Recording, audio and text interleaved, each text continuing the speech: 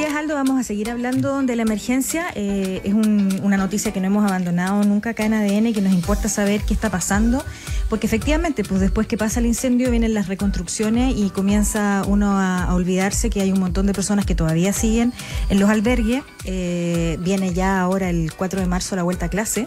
Hay muchos albergues que se están eh, utilizando y que son escuelas, son colegios, por lo tanto también hay un tema que vamos a tener que abordar después. Pero hoy día queremos meternos en eh, algunos apoyos eh, para la gente de la zona eh, que puede postular, que puede entrar como a tener sus cupos para poder mejorar su situación actual. Estamos con Nicolás Navarrete, director nacional del Fondo Solidaridad e Inversión Social, el FOSIS. ¿Cómo estás, Nicolás? Hola Isabel, hola Aldo, un gusto saludarlos, buenos días. ¿Qué tal, Nicolás? entendemos que hay una acción inmediata, directa del FOSIS por estos días, favoreciendo el emprendimiento en la zona más afectada, ¿no? Así es, como bien decía Isabel, la emergencia tiene muchas etapas. La primera, por supuesto, es contener los incendios. Después viene una segunda etapa de reconstrucción de casas y también el presidente Gabriel Boric ya de la semana pasada hizo anuncio en torno a eso. Y luego de eso viene una tercera etapa, que es la etapa de la reconstrucción económica. Gente que pierde su fuente de ingresos y cómo el Estado llega en ayuda para que esas fuentes de ingresos se echen a andar nuevamente. Eh, lo que hemos hecho es, vía el catastro de la FIBE, nos hemos coordinado con el Ministerio de Economía, en específico con Cercotec, y también con el Servicio Nacional de Capacitación y Empleo, CENSE, para ir en ayuda de todas las afectaciones económicas que existieron. ¿Por qué digo todas? Hay tres realidades esencialmente. Empresas formales que fueron afectadas, trabajadores dependientes que producto que las empresas fueron afectadas están en riesgo de perder su fuente de empleo y por supuesto también hay un grupo importante de emprendedores y emprendedoras informales que fueron afectadas y que perdieron su fuente de ingreso. Como está distribuido esto es Cercotec está ayudando a las empresas formales, Sense está ayudando a los trabajadores dependientes y Fosis es el que trabaja esencialmente con las emprendedoras informales de, de baja escala. ¿Emprendedoras, principalmente mujeres? Exactamente, más del 90% de las personas afectadas, pero también en general de los emprendimientos de baja escala son liderados por mujeres jefas de hogar. Para que tengamos un orden de magnitud, son cerca de 2.200 personas de las que estamos hablando en los tres grupos de emprendedoras informales, es algo cercano a 1.200 emprendedoras. Eh, y esto además afecta no solo a las emprendedoras, sino también a sus hijos e hijas. Mm. Eh, uno debiese multiplicar por tres cuando piensa en niños, niñas y adolescentes. ¿Qué significa baja escala? Perdona la... Baja escala se refiere dos cosas. Uno es niveles de venta que no superen el millón mensual, pero además agregación de valor mucho más artesanal. No hay aquí cosas eh, que requieren grandes agregaciones de, valores. Cuando uno piensa en estos emprendimientos son liderados, como bien decía antes, por mujeres jefas de hogar que desertaron del colegio entre séptimo y octavo básico, que tienen 30 horas disponibles a la semana para trabajar y que tienen dos a tres niños, niñas y adolescentes a su cargo. Entonces, son efectivamente emprendimientos que lo que ayudan es a generar una fuente de ingresos extra, pero que por supuesto también requiere de algún otro tipo de aporte para que esas familias puedan eh, llegar a fin de mes. Y básicamente hacer empanadas y no vender congelado, a eso nos estamos refiriendo, ¿no? Claro, hacer empanadas, hay mucha gente que tenía em, emprendimientos de, florería, eh, artesanía, artesanía, confección y corte ese tipo de cosas. Los negocios de barrio esencialmente son los que están siendo afectados. Y aquí es súper importante porque muchas de las zonas que fueron afectadas eran tomas y por el hecho de ser una toma, están imposibilitadas legalmente de constituir en esos terrenos un emprendimiento formal. Entonces, a diferencia de otras catástrofes, estamos enfrentando también una realidad un poco más compleja que es empresas que empezaron a facturar más, pero que tenían imposibilidad legal de formalizarse y por lo tanto ahí se abrió un mundo extra que estamos eh, diseñando un paquete especial porque son empresas, estaba el, el otro día con, con Eric en Montesinaí, que hacía perfiles para ventanas. Tenía una empresa con maquinarias de algo cercano a 25, 30 millones de pesos, pero era... Lo perdió todo. Porque tenía el, taller en su casa. Pero esa empresa era informal. Y él, a pesar que quería formalizarse, no, lo podía, no podía hacerlo porque Por estaba el lugar donde estaba. Porque estaba en una toma. Entonces, ¿cómo diseñar también un paquete que pueda ayudar a esa gente que tenía empresa un poco más productiva, un poco más grande, pero que estaban en la informalidad y que por lo tanto no tenemos registros de venta, registros de maquinaria, eh, las facturaciones y los trabajadores dependientes. Sí, yo, yo, eh, este, estos cupos que ustedes están abriendo son 500 cupos de emprendimientos para personas afectadas por el incendio específicamente. ¿Cómo se accede a estos cupos y en qué consisten? Eh, es, van a, es, plata propiamente tal o es, más capacitación o, poder hacer surgir su negocio nuevamente? Ambas cosas. Eh, lo que nosotros hacemos es un acompañamiento para establecer un plan de compras. Probablemente la gente perdió algo cercano de los emprendimientos que nosotros trabajamos, algo cercano a un millón, un millón y medio en maquinaria. Nosotros estamos pensando en un subsidio que llegará a 600 mil, a 800 mil pesos. Y por lo tanto hay que establecer un plan de compra para decir cuáles son las cosas primarias que se deben comprar para que el emprendimiento se eche a andar nuevamente. Y hay un acompañamiento entonces para establecer ese plan de compra y después se hace la transferencia y se compran los bienes. Ahora, y aquí es súper relevante, lo que también nos llama el presidente Gabriel Boric es que el desafío de reconstrucción es un desafío de sociedad. Nosotros hoy día eh, vamos a disponibilizar durante el mes de marzo, en una etapa muy temprana, 500 cupos para ir en ayuda a las personas que están en condiciones ya de echar a andar su emprendimiento y de ser necesario vamos a ampliar la ayuda. Pero la sociedad civil y el mundo privado probablemente va a hacer aportes similares a los que haga el Estado, quizás un poco menor en volumen, en número de gente. Y por lo tanto, también lo que vamos a hacer es constituir una mesa de reconstrucción económica en donde invitemos a la sociedad civil. Desafío Levantemos Chile, Fondo Esperanza, Van Igualdad, para también coordinar y hacer el catastro. Y aquí es súper relevante esto. Hay una complejidad cuando uno habla de la informalidad. ¿Quiénes son? Por defecto no están en ningún registro público que se maneje. Y por lo tanto el catastro es muy costoso porque es casa a casa. Uno tiene que ir casa a casa preguntando, ¿usted tenía un emprendimiento? Sí, no, que haya medios de prueba, métodos de verificación. Son 7.500 casas y por lo tanto si cada institución lo que hace es que levanta su propio catastro, se transforma en una burocracia gigante. Y por lo tanto, en esta mesa lo que queremos hacer es poner a disposición de todos los catastros y que todos sepamos a quiénes y cuánto le está llegando de ayuda también para que podamos hacer una coordinación más efectiva. Claro, como decía Isabel, el problema es la informalidad con la que. Porque el, registro muchas veces. Eh, eh, como método probatorio te puedo decir, mira, aquí había una casa y un terreno, pero en, rigor había dos y hasta tres. Eh, ¿Y cuánta gente vivía en un, en un determinado hogar? Es, es, muy complejo. Para, para, las autoridades han insistido en un concepto que a mí me parece fundamental, que es el tejido social en que, en que se habitaban los cerros de Viña, y en eso la llegada del fósil va a ser eh, fundamental en términos de, recomponer ese tejido social. Hay, otra iniciativa, me imagino además, eh, Nicolás, ¿no?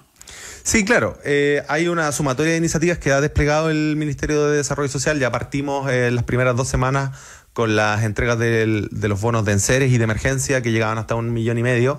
Pero aquí también es relevante y, es parte de la coordinación que estamos haciendo con, con la mesa de reconstrucción económica dos cosas. Uno es los beneficios que está entregando en su mayoría el Estado, y FOSI no es la excepción, no son postulables. Lo que nosotros vamos a hacer es contactar a la gente porque tenemos los registros vía la ficha básica de emergencia, la ficha FIBE. Y lo segundo es, vamos a hacer el mayor esfuerzo posible para que tanto municipios, Estado y la sociedad civil entreguemos beneficios similares a condiciones similares. Porque un poco lo que decía Aldo, si es que cada institución entrega un beneficio distinto a la misma realidad, va a haber una lucha en los territorios respecto de qué institución me favorece en la pulsión de quizás obtener el, mejor beneficio. Entonces, también para mantener la cohesión social es necesario que tengamos una cierta uniformidad en la ayuda que llega a la gente dadas condiciones similares. Ahora, eh, en este caso me voy a quedar en, el, en, el, en los cupos de emprendimiento. Eh, si son personas que estaban en la informalidad, ¿cómo los van a detectar? ¿Solamente tienen que ir casa a casa preguntando qué tenías tú? Eh, ¿Cómo puede postular esa persona a este bono de emprendimiento? No sé si es un bono o un fondo. Eh, ¿Cómo puede demostrar que hacía lo que hacía? Dos cosas. El registro ya está hecho. La ficha básica de emergencia pregunta afectación económica. Perfecto.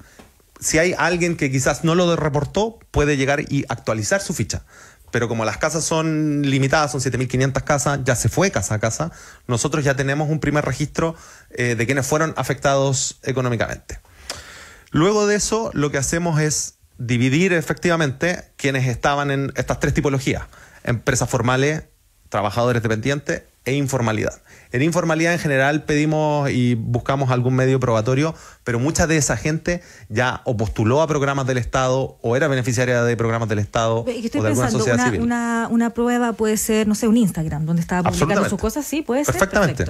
Perfectamente. O sea, lo más simple es, por supuesto, cuando formaron parte de algún programa del Estado, postularon. Perfecto. Pero si no, si ese no es el caso y hay alguien que emprendió sin ayuda del Estado, y que, y que tiene algún otro medio de prueba, como una foto en Instagram que le vendió, que le pidieron. De hecho, cuando estábamos con, con Erika en Montesinaí, nos mostraba su emprendimiento de florería y cómo la alcaldesa Ripamonte había ido a, a visitarlo eh, y había un post de hecho de la propia alcaldesa diciendo vengan a, comprar las flores eh, donde Erika. Y por lo tanto eso ya es un método de prueba suficiente. Mm. Eh, y lo que nosotros hacemos después es, tomamos ese listado, las 2.200 personas, los distribuimos entre los tres servicios y cada uno contacta a sus propios, a sus propios usuarios, dependiendo de la, de la tipología. La ayuda en particular que nosotros entregamos, como decía al principio, es un acompañamiento, un plan de compra. Y en lugar de hacer el bono, lo que hacemos nosotros es compramos las cosas eh, que, la gente necesita para reactivar su que hacemos en conjunto con el plan de compra y les transferimos los bienes. ¿Por qué hacemos esto? Porque también esta es una posibilidad de hacer dos cosas. Uno, fortalecer los emprendimientos. También en establecer ese plan de compra, quizás hay gente que dice, mire, ¿saben qué? La máquina que tenía no me servía tanto, voy a comprar otra. O quizás hay alguna cierta acompañamiento, como ponía los precios de sus productos, que no estaba tan bien hecho y por lo tanto también eso forma parte de la capacitación y el acompañamiento que hacemos. Y lo segundo es que queremos nosotros que se reactiven los emprendimientos y por lo tanto lo que hacemos es comprar las cosas y entregárselas a la gente porque también entendemos que los bonos, dadas las necesidades que hay, pueden ser ocupadas en diversas cosas, pero esto en particular es reactivar el tejido económico que había en, los lugares. Y hacen seguimiento después, me imagino, ¿no? Así es, hacemos seguimiento, de hecho, y esto forma parte de nuestros programas regulares, no solo de ahora, eh, tenemos una métrica que hacemos con el Ministerio de Hacienda, en el cual toda la gente que pasa por nuestros programas de emprendimiento, no todo, me voy a corregir, el 95% debe aumentar sus ventas en un 10% o más. Mm. Eh, y eso es parte de la evaluación continua del programa y las ayudas de emergencia no están exentas de eso. Mm. Nicolás, eh, ¿con qué te encontraste? Eh, ¿Qué otro tipo de emprendimiento eh, dentro de la informalidad o la formalidad en esta zona específica? Ya hablamos de una florería, de perfiles de ventana. ¿Qué otro tipo de emprendimiento está desarrollando la gente para poder subsistir o tener este ingreso extra?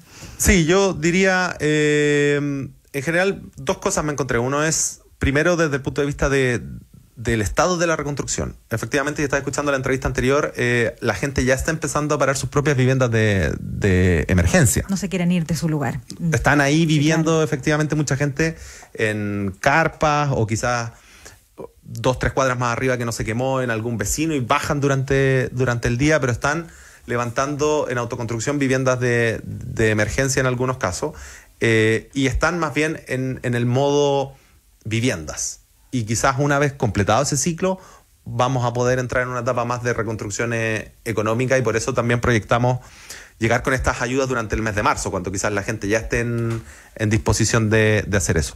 Y desde el punto de vista de los emprendimientos, por ejemplo, había bastante gente que lo que hacía era tenía eh, comercio ambulante, pero de frutas y verduras. Mm. Entonces tenía una camioneta, compraba frutas y verduras y se paraba en distintas esquinas eh, a vender esa fruta y verdura. Y ahí, por ejemplo, no se perdió la camioneta, pero sí se perdió la fruta y verdura y el capital de trabajo.